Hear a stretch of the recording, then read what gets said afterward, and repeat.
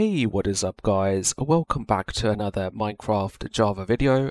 Today we're going to be taking a look at a Forge base mod for Minecraft Java Edition version 1.17.1 and this mod is called JEI which stands for Just Enough Items mod and this is on the latest release of Minecraft and as you can see in the top left there it does say Minecraft version 1.17.1 so I'm going to show you guys how to download and install the JEI Just Enough Items mod for Minecraft Java Edition version 1.17.1 on Forge and I'm also going to show you guys how to download and install Forge for Minecraft Java Edition version 1.17.1 and then get everything set up. So as you guys can see right now on my screen I do have the JEI Just Enough Items mod mod open and it is showing me how to craft a shield using the uh, different items over here which is really useful. And if you guys are starting out and you are playing a survival based game and you don't want to keep on looking up how to craft items then this mod is really useful. You can just click into an item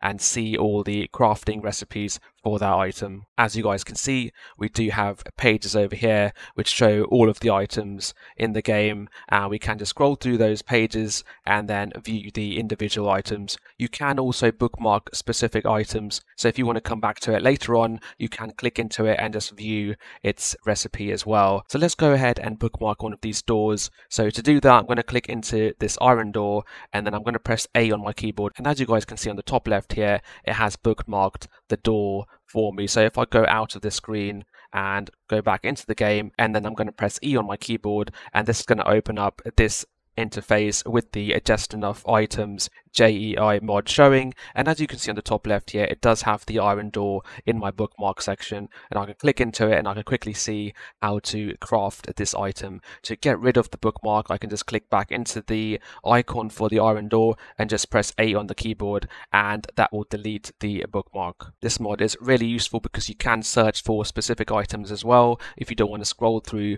all of these pages so for example I can just type in axe and it will show me all of the axes that I can create and if I click into this diamond pickaxe it will show me how to craft it which is really cool it is showing me how to craft it using a crafting table and it's telling me I need the three diamonds and two sticks if I click into the stick, it will tell me the different ways I can make a stick using bamboo or the planks. If I click into a plank, it's going to tell me that I need the logs to make the four planks. Let's click back on the diamond pickaxe. I can also click on the diamond over here and it is showing me that these nine diamonds can be crafted this way. I can also click on the top icons here. So as you guys can see, it says blasting and it's showing me different things I could do in the blasting section or the smelting section as well using the diamond ores as well. So it's really useful. Because it tells you all of the different ways you can craft an item and we can go ahead and look into that and learn the game that way as well. You guys will notice that if you click on this uh, wrench icon down here,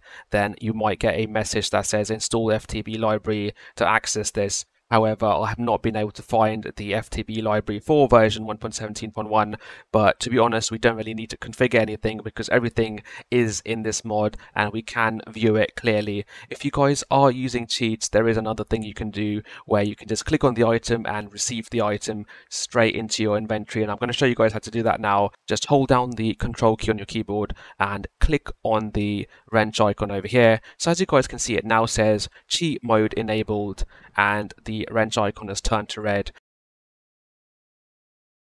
now, to actually have the item and take it out of there, you obviously do need the cheats enabled in your world. And if you don't have cheats enabled, I will also show you after this step how to enable cheats on your existing world. Alright, so if you want to take out an item and place it in your inventory really quickly, just go one level above and press the escape key so you are seeing this bit of the screen and then just click on the item and you will see at the bottom here it does say gave one diamond axe and then it will say your username and then then just click onto your inventory and you will have it there in your inventory. We can do that with the diamond axe as well. And let's do that. And we can also just search for a diamond in our search bar and we can do that with all the diamond pieces of armor. Let's go ahead and do that now. There we go. So as you guys can see, it's really simple and obviously I do have cheats enabled and as you guys can see, I am playing in a survival based world with the cheats on. If you guys don't have cheats enabled, you may be wondering how do I enable cheats in a survival world. I have done another tutorial on this as well. the easiest way to do it is just press escape, click on open to LAN, and then click on allow cheats on, and then click on start LAN world, and that will enable your cheats. And then obviously you can do this step with the JEI just enough items mod. Alright, so I'm going to show you guys now how to download and install Forge on your Minecraft game version 1.17.1. Then I'm also going to show you guys how to download and install the JEI Just Enough Items mod for Forge on Minecraft Java Edition version 1.17.1. Alright, so the first thing we're going to do now is to actually install Java because we do need Java to open up the Forge installer. So just open up your internet browser and just start typing in Java JDK 17. That is the latest release of the Java JDK file that just got released recently. And then we need to scroll down and click on the oracle.com link over here. I will leave a link in the description for all of the downloads that I am showing you guys today. So you don't have to go around searching for them. You can just click on the links in the description. Okay, if we just scroll down and because I'm on a Windows based machine, I'm going to click on Windows over here. I'm going to download the x64 installer. I'm going to click on this file here to download the x64 installer for the Java JDK version 17. So this is a big file, it's 152 megabytes. So let's wait for that to finish and I'll be right back. Alright, so as you guys can see, it has finished downloading the Java JDK 17 file there. So we can close down this window. We can now search for Forge. So in your search bar, just type in Minecraft Forge and you should see a link here that points you towards the files.minecraftforge.net website. So click on that link over there, and then we need to go to the main homepage, and then we can download the latest installer of Forge for Minecraft 1.17.1. So just click on the installer link over here. It will open a ad-based page like this. So just wait for a few seconds, and then we can click on skip over here to start the download. And as you guys can see, it has started the Forge installer download. Now do bear in mind that the Forge files are in beta version at the moment. So keep checking back on the main Forge website for the latest releases of Forge. Okay, so now we can close this down and now we can finally get the Just Enough Items JEI mod for Minecraft Java Edition version 1.17.1. So in your search bar, just type in Minecraft JEI and it should come up with the curseforge.com link over here. And if we click onto that link it will open the curseforge page. You will see that on the top here it does say game version 1.12.2 so just ignore that. Click on files and then just scroll down and it should have a version for 1.17.1 so we can see that JEI is released and it's available for 1.17.1 I'm going to click into this link over here and then I'm going to click on download to download just enough items JEI mod for version 1.17.1 so let's wait for that download to finish. Alright so as you guys can see the JEI just enough items mod has finished downloading and I'm now going to place all of these files onto my desktop and I'll show you guys how to get all of these files installed and set up.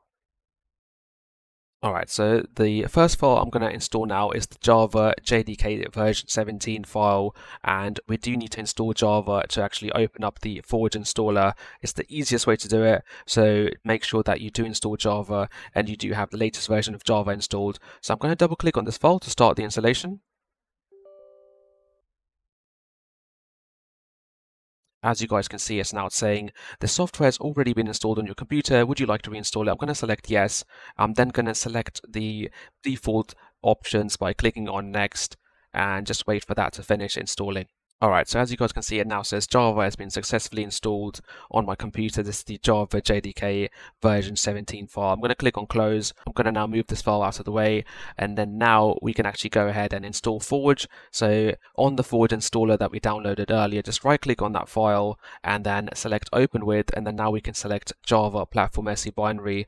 And that should open up the Forge installer. So you should get a installer screen like this. And as you guys can see, it says welcome to the simple Forge installer installer for version 1.17.1 and this is Forge version 37.0.60. Obviously, if you are downloading this in the future, you will have a much higher version of Forge. So just leave everything as it is and click on OK and then that should start the actual installation of Forge. So just give it some time and then it will give you a message that Forge has been successfully installed. So as we can see, it does say it has successfully installed the client profile Forge for version 1.17.1. I'm going to click on OK. Um, I'm then going to move this file out of the way and now we can actually go ahead and install the mod. And to do that, we can open up our Minecraft launcher. Once the launcher has opened up, we can go into our installation section over here. You will see a link for Forge. So, so we do know that Forge has been installed for version 1.17.1 and if you just hover over any one of these lines and just click on the folder icon over here that should open up the default Minecraft directory and now we can close down the launcher. So do make sure that the launcher is closed now. And if you look in the default Minecraft directory you should have a folder that says mods. If for any reason you don't have this folder that says mods right click on an empty space click on new click on folder and then rename it to mods like it says over here. I'm now going to go into the mods folder and I'm going to drag this over here and I'm going to now drag the JEI just enough items mod file into the mods folder. So you should have the JEI 4 version 1.17.1 jar file inside the mods folder. I can now close down this window. I can then open up the Minecraft launcher again and let's wait for that to now load up Alright, so once we've installed the JEI Just Enough Items mod, we can actually now launch Forge. So you've got two ways of doing it. You can either make sure that Forge is selected in the drop down over here and click on play, or you can go to the installation section and hover over Forge and then click on play. So let's do that. Let's click on play to launch the game with Forge selected. Alright, so as you guys can see, it has loaded up the game and we are seeing that the screen looks slightly different. So let's maximize that. So as you guys can see on the top here, it does say Forge Beta. So we do know that Forge is in the beta stage at the moment. Obviously, once it comes out of beta, it will change the message here. You can see the version of Forge over here on the bottom left. It does say Forge 37.0.60.